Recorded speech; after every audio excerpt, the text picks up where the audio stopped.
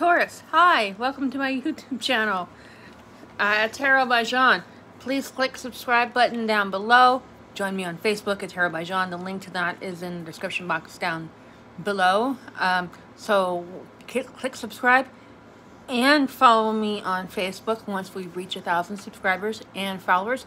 Your name will be entered into a drawing for um, a free one hour session, whether it be mediumship session, uh, Reiki healing session, and or tarot session. Noah, you right there, buddy? Okay. Here he is. Man of the hour. Okay. So, let's. This is a collective reading for the week of September 25th. So this may not resonate with everybody, and I will end the reading by uh, an oracle card, drawing an oracle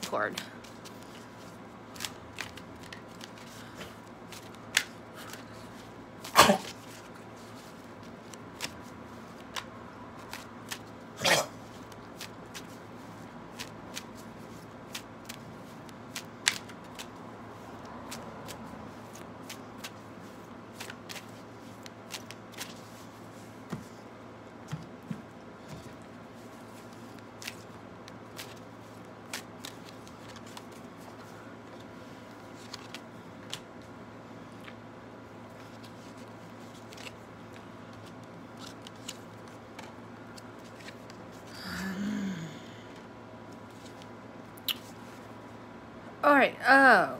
Jesus, Taurus. Okay, let me clarify before we go into this, because this is, uh,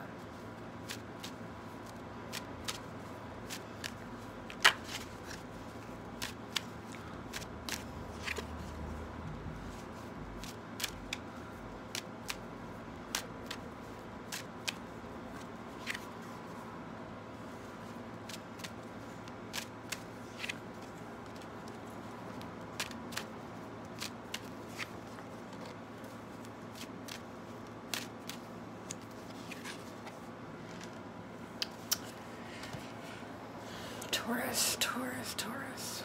I'm okay. So, Taurus, in the past we've got the Emperor clarified by the Two of Swords, so both are about control and conflict. It, it, it seems like you were being Taurus-like and stubborn and stayed in conflict for a little bit, but right now, presently, we've got the Nine of Wands clarified by the Three of Swords both of them are about conflict and pain and grief and loss and you're just tired of fighting whatever this is.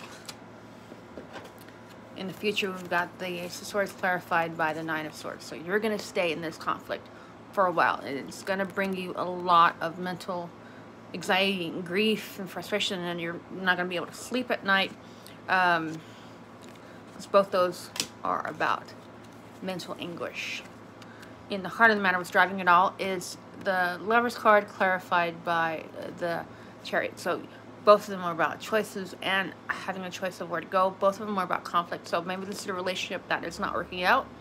Uh, you've been stuck in this grief for uh, and lost for a while, and you will for a while forward, for a while more. So I do feel like this is telling you um, just to work on your healing and grounding.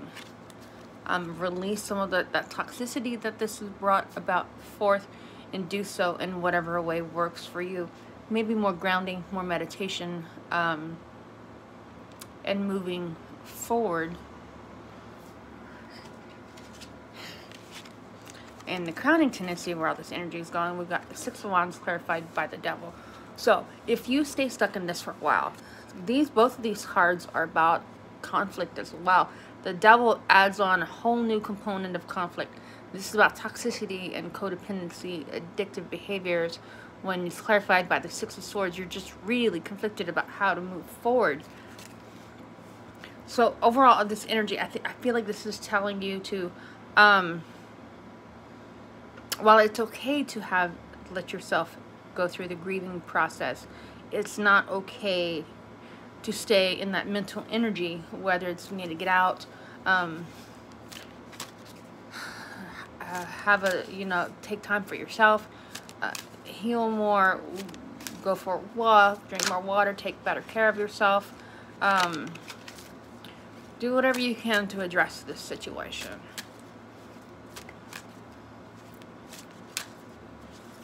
The Angel Oracle Guide has for you.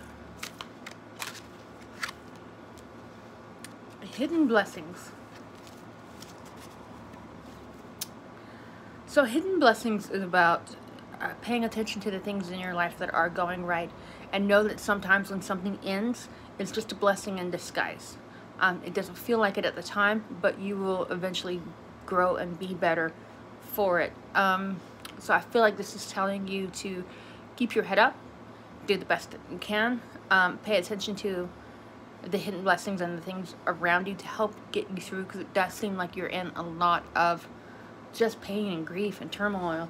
Um, so Taurus. literally take the bull by the horns and uh, go forward and be prosperous.